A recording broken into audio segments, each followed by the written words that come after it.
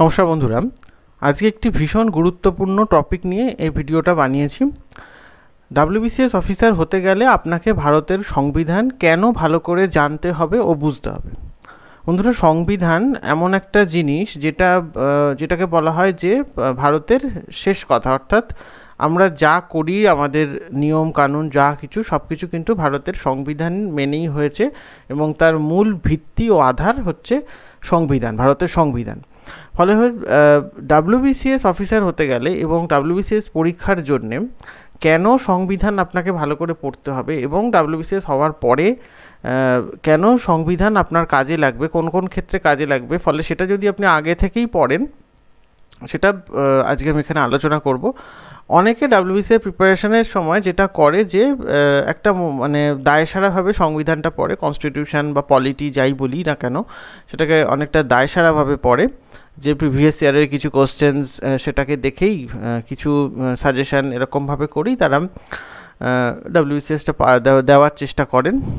কোনো কোনো ক্ষেত্রে যদি তারা সফল হনও, কিন্তু কার্যক্ষেত্রে গিয়ে তাদের কিন্তু সেটা প্রবলেম হবে। ফলে আপনার যদি স্বপ্ন থাকে ডাব্লিউবিসিএস অফিসার হওয়ার, আপনাকে কিন্তু ভারতের সংবিধান ভালো করে পড়তে হবে। এবং কেন পড়তে হবে, কেন বুঝতে হবে সেটা নিয়েই আমি আজকে এই ভিডিওটা বিস্তারিতভাবে আলোচনা করব। ভিডিওটা খুব ভালো করে দেখুন। ভারতবর্ষে প্রধানত সংবিধানের নিয়ম অনুসারেই সমস্ত রকম সরকারি কাজ হয়ে থাকে।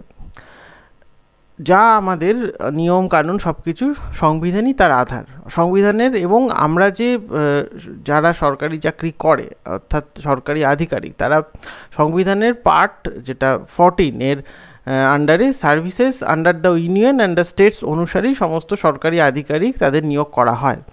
ফলে ডাব্লিউবিসিএস অফিসারদের চাকরির নিয়োগটা, অর্থাৎ যে সার্ভিস রুল তৈরি করা, সমস্ত কিছু সেটা এক একটা রাজ্যে এক এক রকম এবং যারা সেন্ট্রালের অফিসার অল ইন্ডিয়া সার্ভিস সার্ভিসের অফিসার আইএএস আইপিএস আইআরএস এদের কিন্তু এদের এদেরও যে চাকরির যে রুলস সার্ভিস রুল সেটাও কিন্তু সংবিধান মেনেই হয়। ফলে এবং সংবিধানের নির্দিষ্ট ধারা অনুসারেই হয়। ফলে যে চাকরিটা আপনি করতে যাচ্ছেন সেটাই সংবিধান স্বীকৃত। ফলে আপনাকে কিন্তু সংবিধানটা ভালো করে অবশ্যই জানতে হবে।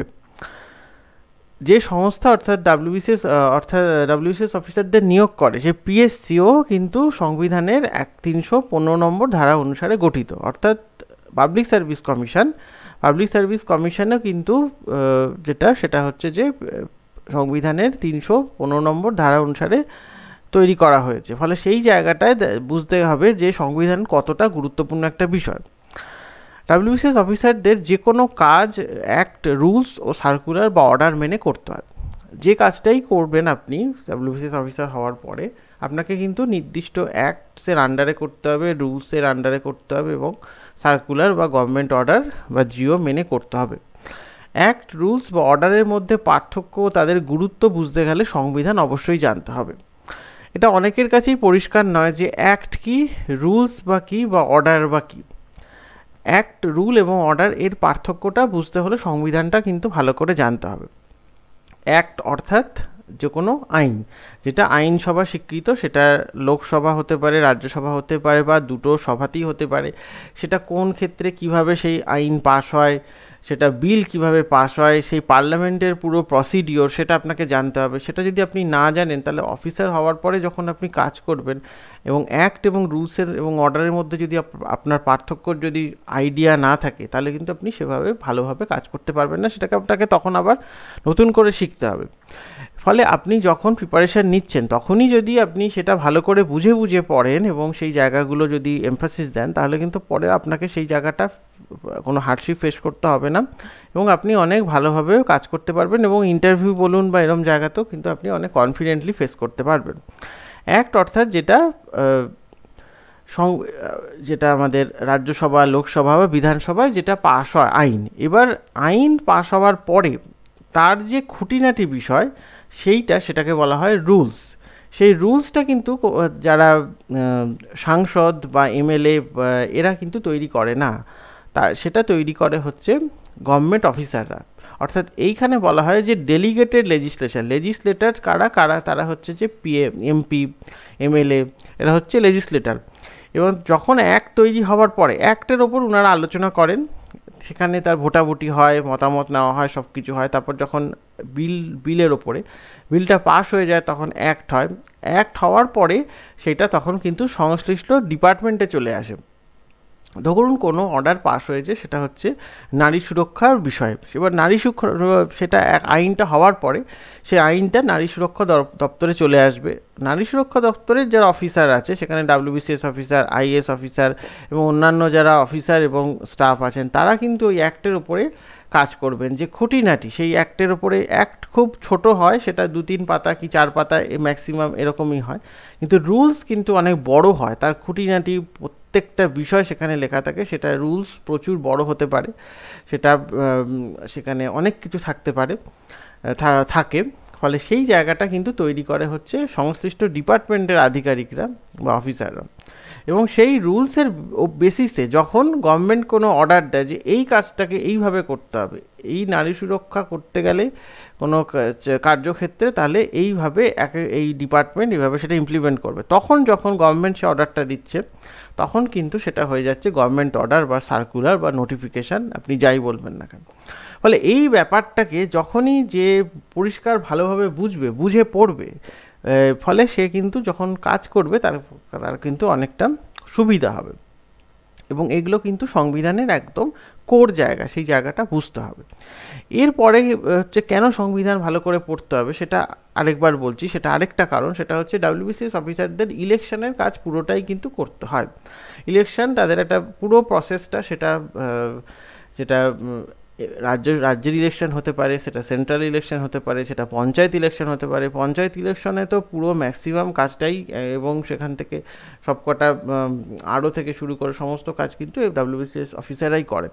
ফলে সেক্ষেত্রে তাই সংবিধানের ধারা অনুসারে election commission electoral system constitutional safeguards to the office of the chief election commission delimitation act representation of the people act তার অ্যামেন্ডমেন্ট এই সম্পর্কে কিন্তু সম্যক ধারণা থাকা ভীষণ জরুরি।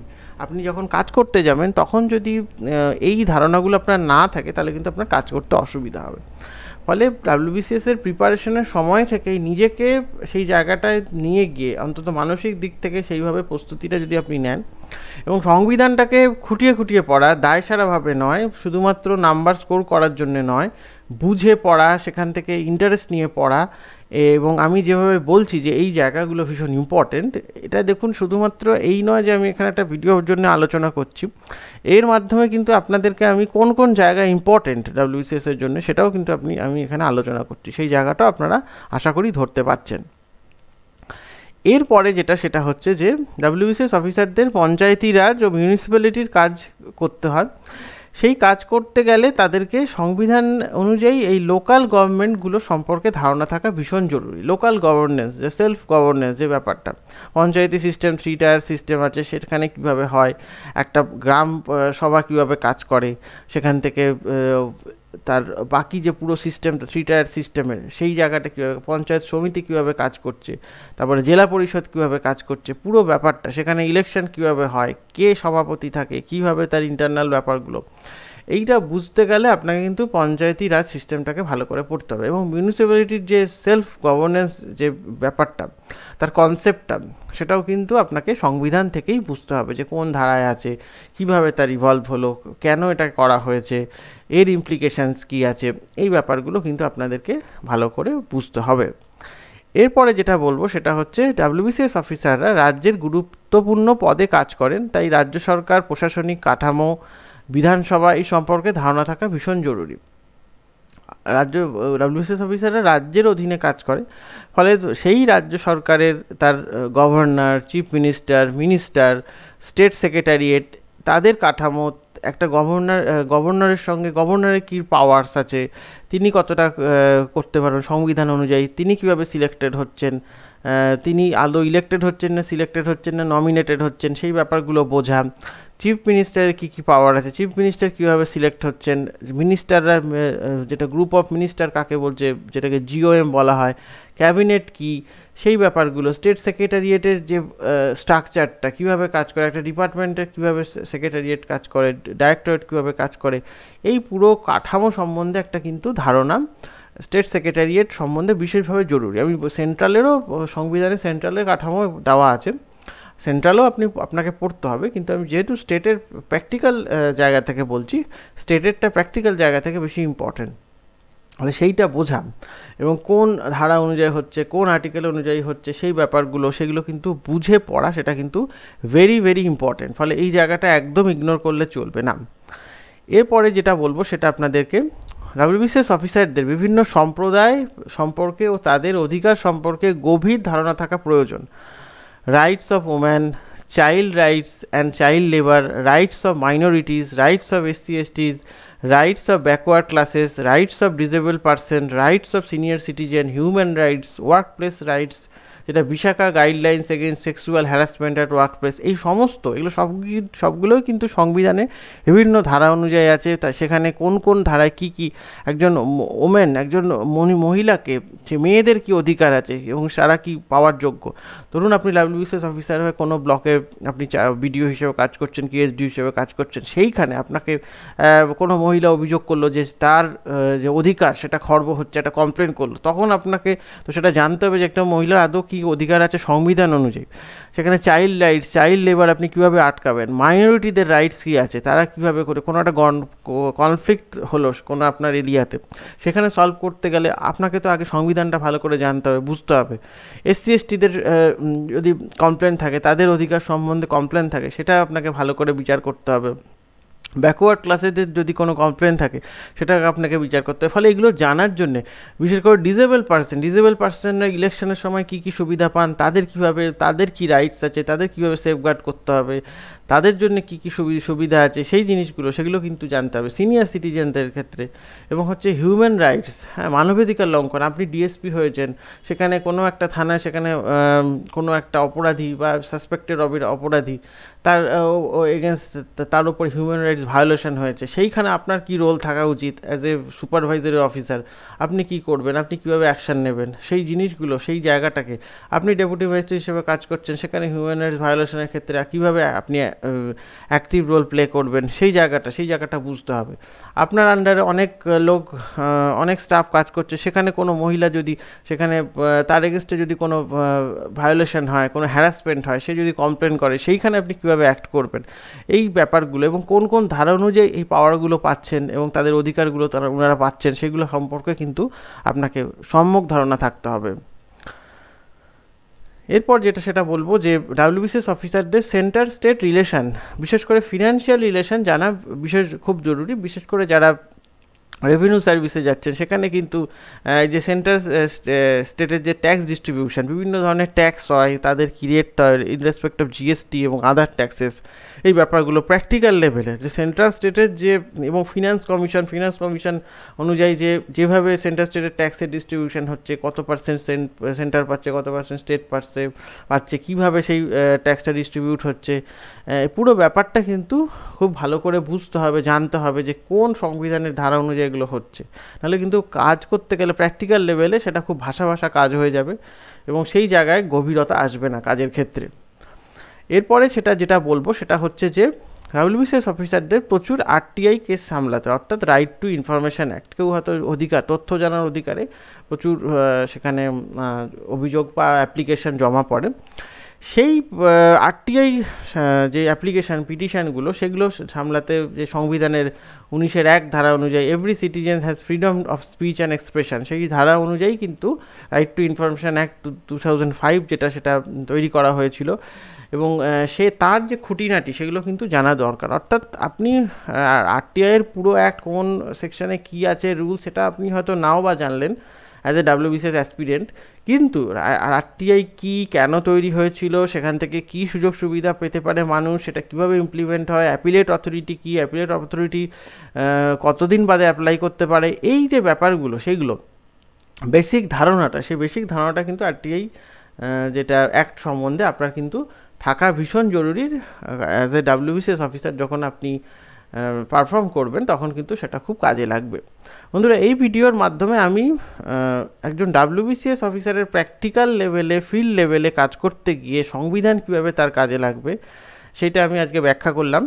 আপনারা এইভাবে যদি সংবিধানটা পড়েন, এইভাবে যদি পলিটিটা পড়েন, তাহলে কিন্তু আপনাদের বুঝতেও সুবিধা হবে, অনেক ইন্টারেস্ট আপনারা পাবেন এবং প্র্যাকটিক্যাল লেভেলে যখন আপনারা ডাব্লিউবিসিএস ক্র্যাক করবেন এবং চাকরিতে যোগদান করবেন, তখনও কিন্তু আপনাদের পুরো কাজটা করতে সুবিধা হবে এবং আপনারা ভালো অফিসার হিসেবে নিজেকে প্রমাণ করতে পারবেন।